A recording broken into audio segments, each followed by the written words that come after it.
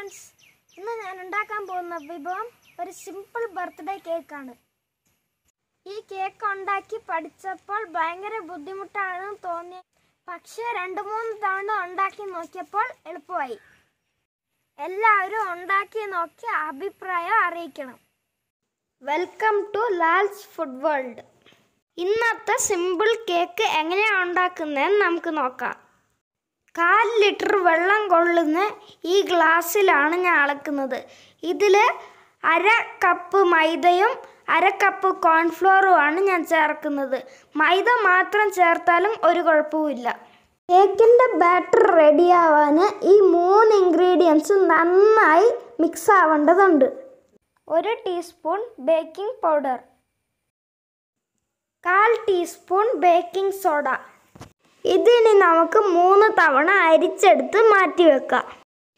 ഈ കേക്കിന് ഞാൻ മൂന്ന് മുട്ടയാണ് എടുക്കുന്നത്. ഈ മുട്ടയുടെ വെള്ളയും മഞ്ഞയും നമുക്ക് സെപ്പറേറ്റ് ആക്കി എടുത്തു വെക്കാം. ഇത് ഫോർക്ക് കൊണ്ടും അടിച്ചെടുക്കാവുന്നതാണ്. പക്ഷെ കുറേ നേരം എടുക്കും. മിക്സിയിലും ഇത് പതുക്കെ പതുക്കെ അടിച്ചെടുക്കാവുന്നതാണ്. ഞാനും അമ്മയും മിക്സിയിൽ അടിച്ച് സക്സസ് ആയപ്പോഴാണ് ബബ്ബായി ഈ ട്രിക്ക് പറഞ്ഞു തന്നത്. ഡ്രില്ലിംഗ് മെഷീനിൽ വിസ്ക് പിടിപ്പിച്ച് അടിച്ചോന്ന്. മിക്സിയിൽ അടിക്കുമ്പോൾ വളരെ ശ്രദ്ധിച്ചു വേണം അടിക്കാൻ.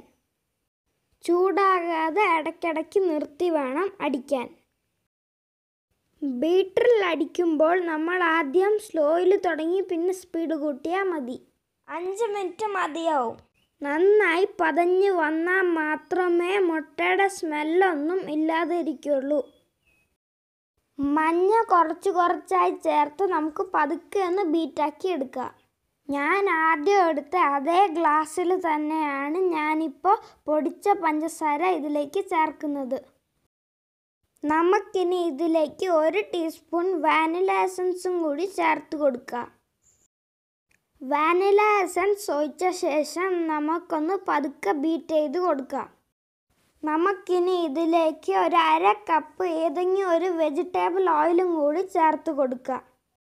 വെളിച്ചെണ്ണ മാത്രം ചേർക്കരുത്.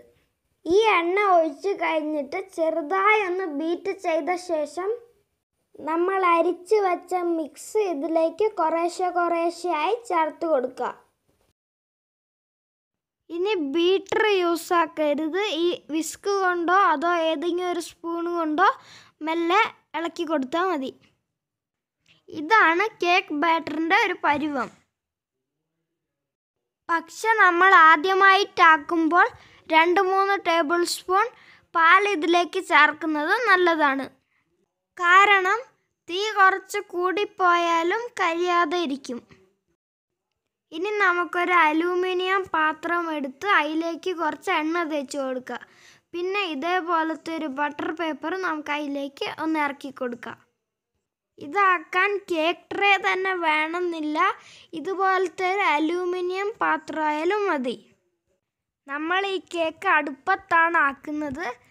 നമുക്ക് ഇതേപോലത്തെ ഒരു വട്ടമുള്ള ഒരു പാത്രം എടുത്തിട്ട് അതിൽ ശകലം മണലും ഇട്ട് നമുക്കിത് പ്രീട്ട് ചെയ്യാം. ഒരു പതിനഞ്ച് മിനിറ്റ് പ്രീട്ട് ചെയ്യാം.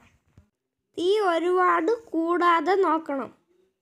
മീഡിയമും ലോവും ആയിട്ട് നാൽപ്പത് മിനിറ്റ് നമ്മൾ അടുപ്പത്ത് വെക്കേണ്ടി വരും. നമ്മൾ നേരത്തെ എടുത്തു വച്ച പാത്രത്തിലേക്ക് ബാറ്റർ നമുക്ക് ഒഴിച്ചു കൊടുക്കാം. എയർ ബബിൾസ് ഒന്നും വരാതെ നമുക്കിങ്ങനെ ഒന്ന് ടാപ്പ് ചെയ്ത് കൊടുക്കാം. നമ്മൾ പ്രീട്ട് ചെയ്ത ആ പാത്രത്തിലേക്ക് നമുക്കിനി ആ ബാറ്റർ ഒന്ന് ഇറക്കി വെച്ച് കൊടുക്കാം. ബാറ്റർ ഇറക്കി വെക്കുമ്പോൾ കൈ പൊള്ളാതെ പ്രത്യേകം സൂക്ഷിക്കണം. ഇതെനിക്ക് കൈ പൊള്ളാതെ അമ്മയാണ് ഇറക്കി തരുന്നത്. റിങ്ക് വെക്കാൻ മറക്കരുത്. നന്നായി അടയ്ക്കാൻ പറ്റുന്ന ഒരു അടപ്പെടുത്ത് അടച്ചു വെച്ച് കൊടുക്കുക. അരമണിക്കൂർ കഴിഞ്ഞ് നമുക്കൊന്ന് തുറന്നു നോക്കാം. പിന്നെ ആയിട്ടില്ലെങ്കിൽ നമുക്കൊരു പത്ത് പതിനഞ്ച് മിനിറ്റ് കൂടി ഒന്ന് വെച്ച് നോക്കാം. നാൽപ്പത് മിനിറ്റിന് ശേഷം നമ്മളിത് തുറന്ന് നോക്കിയപ്പോൾ ഇത് വെന്തിട്ടുണ്ട്. തണുത്തതിന് ശേഷം സൈഡൊന്ന് ഇളക്കി കൊടുത്തിട്ട് നമുക്ക് കേക്ക് എടുക്കാം. അടിയൊന്നും കരിയാതെ നന്നായി വെന്ത് കിട്ടിയിട്ടുണ്ട്.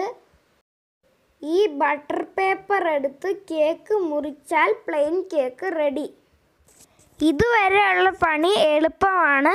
ഇനിയുള്ള പണിയാണ് ശ്രദ്ധിച്ച് ചെയ്യേണ്ടത്. ഇനി നമുക്ക് ഐസിങ്ങിന് ഒന്നര കപ്പ് വിപ്പിംഗ് ക്രീം എടുക്കാം. ഇത് ഞാൻ കടയിൽ നിന്ന് മേടിച്ച വിപ്പിംഗ് ക്രീമാണ് വീട്ടിലുണ്ടാക്കുന്ന വിപ്പിംഗ് ക്രീമും ഡിസൈനും ഞാൻ അടുത്ത വീഡിയോയിൽ കാണിക്കുന്നതാണ്. ഫ്രിഡ്ജിൽ നിന്ന് എടുത്ത വിപ്പിംഗ് ക്രീം ബീറ്റ് ചെയ്യുമ്പോൾ ഈ ഡിസൈൻ വരുമ്പോൾ നിങ്ങളുടെ വിപ്പിംഗ് ക്രീം റെഡിയായി. ഇതേപോലത്തെ ഒരു പ്ലാസ്റ്റിക്കിന്റെ ടോയിൻ എടുത്ത് നമുക്കിത് കട്ടാക്കാം. ഇതിലുള്ള രണ്ട് ലെയർ മാത്രമേ ഞാൻ ഐസിങ്ങിന് എടുക്കുന്നുള്ളൂ. ബാക്കിയുള്ള ഒരു ലെയർ ഞാൻ പ്ലെയിൻ കേക്കായി കട്ടാക്കുക.